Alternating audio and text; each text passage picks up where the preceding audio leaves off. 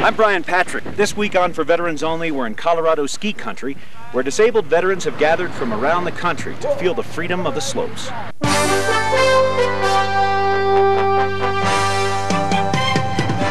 For Veterans Only is a national television news magazine for America's veterans and a presentation of Veterans Productions USA.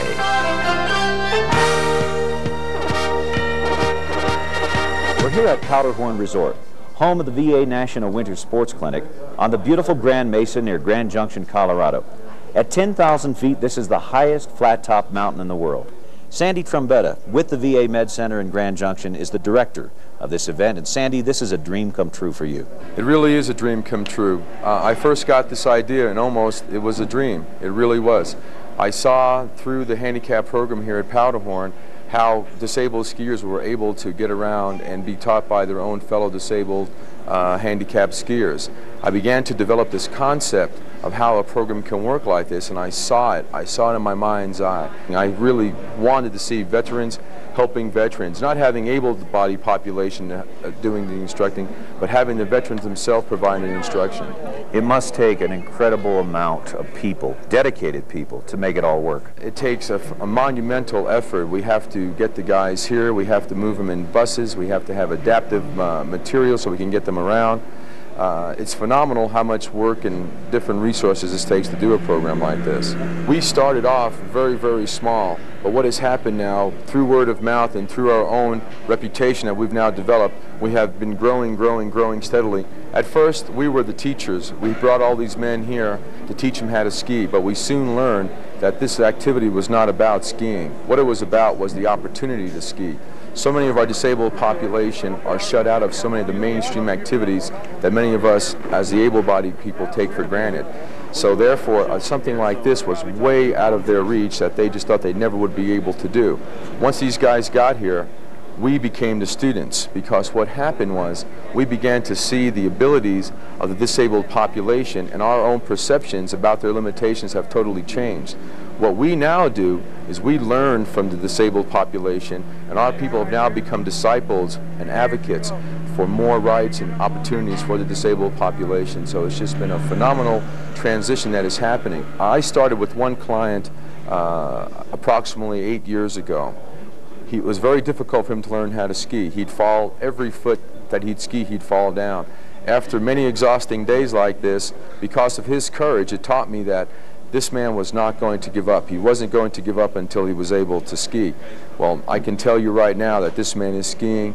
He's skiing very well, and he's teaching others. And one of the students that he is teaching is going to participate in the 1992 Handicap Olympics. It's really been a tremendous kind of domino effect, and to see these men helping each other and learning from each other and knowing that they can accomplish, maybe not right away, but they can accomplish a certain ability what the others have, it's been very, very rewarding to see that. Sandy, tell us a bit about the people who are involved in this. Well, there's over 100 participants here, including men and women. They come from 20 different states. The youngest veteran is 20 years old. The oldest veteran is 70 years old.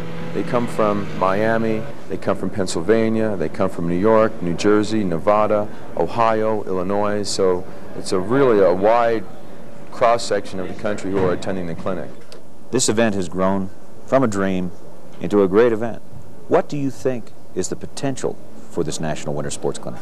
I think the potential is just amazing, not so much in that we're talking about developing skiers to become champions, and although we are having skiers who are becoming champions, but I think what has happened is we find so many of our disabled community coming up here, and just the challenge and knowledge that they get out of skiing enables them to go back to their own lives and maybe some of the obstacles and barriers that they feel or that they have to overcome aren't so difficult anymore.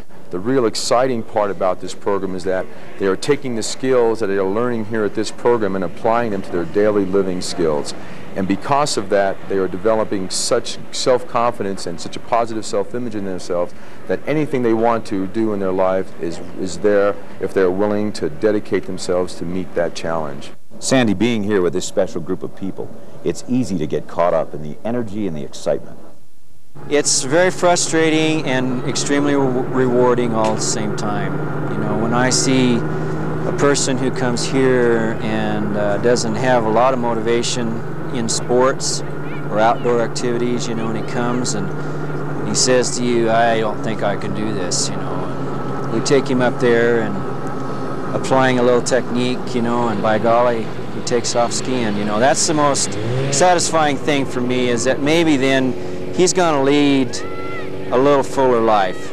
Yeah, and then he thinks, well, if I can ski, maybe I can do other things. Maybe I can water ski. Maybe I can uh, go get a job. Maybe I can get married, you know, have a family. And anything's possible when you believe it. You can believe Rick Isom when he tells you anything is possible. Since suffering a paralyzing injury in Vietnam, Rick has not only learned to ski, he's earned dozens of medals in world championships for the disabled and is ranked number one in the nation, fourth in the world in the monoski class. He volunteers his time and expertise along with fellow disabled ski team member Chris Young. Last year I was moved on to the developmental squad of the U.S. Disabled Ski Team, and this year I haven't lost a race and plan on moving up from the development squad to the A team be eligible to compete in international competition and the world championships. Chris broke his back in a plane crash while serving with the Coast Guard in Alaska. He started as a participant in the Winter Sports Clinic. Now he's an instructor. This year coming back and trying to give a little back to what they've given me because they gave me that boost and that, that initial get up and go and gave me some direction now. And skiing is great, but I never had any direction after the accident. I had my career in the Coast Guard, and after the accident, I had no direction, nothing to do, just kind of be a bum, and now I'm a ski bum. Chris brought his buddy Todd Kelly to last year's clinic. Todd was ready to try out his custom-made monoski, but he remembers the lonely feeling at the top of the mountain on his own for the first time. I was real scared. It was a strange feeling to be left alone on the side of a mountain, probably the first time. Um, I'd really felt quite so alone and unsure of what I could do. And then suddenly uh, this overwhelming feeling came that I could go any place I wanted to. I could go as fast as I wanted, slow into the trees, I could fall, or I could take my time. And I skied here for six days, and by the time I left, it had built up my self-confidence uh, tremendously. This year, Todd is back as an instructor and enjoying every minute of it. And to see the difference that it's making on some of these guys and to see you know, they have a hard time maybe the first few times and they go down and, and after one good run or after maybe a day of practicing and come up the next day, they get this smile on their face that um, just won't be gone till the end of the snow season. Jerry Connors is a Vietnam veteran who lost a leg after a service-related accident. She says her handicap helps her teach other disabled skiers because they know she's been there. They see my frustration when I'm trying to help them. I can't get them off the ground myself. I have to bring an able-bodied person to help me for when they fall or I try to demonstrate something. It's hard with me on one ski. I'll show them with my outriggers, and they usually get the point. Getting them through the frustration is pretty much letting them, trying to get them to believe you when you say you will ski. You will ski. You had one man finally linked together six turns. He goes, "What did I just do?" I said, "It's called skiing." Vietnam veteran Lauren Greenhill has really made a lot of progress. From the beginning of the season to the end of the season, I'm just like night and day. I mean, when I started out, I was falling every every 50 feet that was back in December. And now I'm just boogieing down that mountain. I'm gaining a lot of speed for one thing going down that mountain, and I'm not afraid of it anymore. Uh, back, I would say a month ago, two months ago, I wouldn't have, I wouldn't have been able to go half as fast as I am going now, just because I didn't have that confidence yet. But now that I, I, I really feel like I'm one with the ski, and I know that I can control it, and I know that I can do it. Colorado Lieutenant Governor Mike Callahan is also a Vietnam veteran. His advice to other veterans considering challenging the ski slopes? Go out and do it because it builds confidence. It's you and that's snow. And uh, a lot of us have uh, benefited from participating in skiing. Do it one-on-one, -on -one, do it with a buddy, uh, do it with a friend, but get on skis. This is a program that builds uh, confidence and self-esteem. Looking around here today and talking to these vets, they got smiles on their faces. They're, they're, they're not on the sidelines anymore. What the ski clinic has done is said you can participate. Everyone gets into the spirit of the clinic, including the Powderhorn staff. We've got a group of employees that uh, uh, thoroughly enjoy what's happening. They, are fully behind the program. Uh, it's wonderful to see the enthusiasm of the veterans and what they get out of it. Powderhorn has hosted the Winter Sports Clinic since its beginning three years ago. With an abundance of intermediate terrain, it's the perfect resort for this event. The beginner terrain is necessary for uh, the veterans who are first starting into the program and it's their first experience on snow and the sleds. Uh, as they progress, Uh, the intermediate slopes, which we have an abundance of, seems to be the type of terrain that's uh, most conducive to, to the advancement to that level. The VA thinks so much of the Winter Sports Clinic, Acting Director Tom Harvey spent several days here. Well, it makes me real proud to be a veteran and to see people like this with the determination that they show and the enthusiasm for living in spite of some really serious setbacks they obviously have taken in their lives. It just makes me proud to be a to be a part of the agency that is is working with them to help them to enable them to do these other things. Makes you feel good. Harvey joined fellow Vietnam veterans on the slopes at Powderhorn. He is a strong supporter of the Winter Sports Clinic.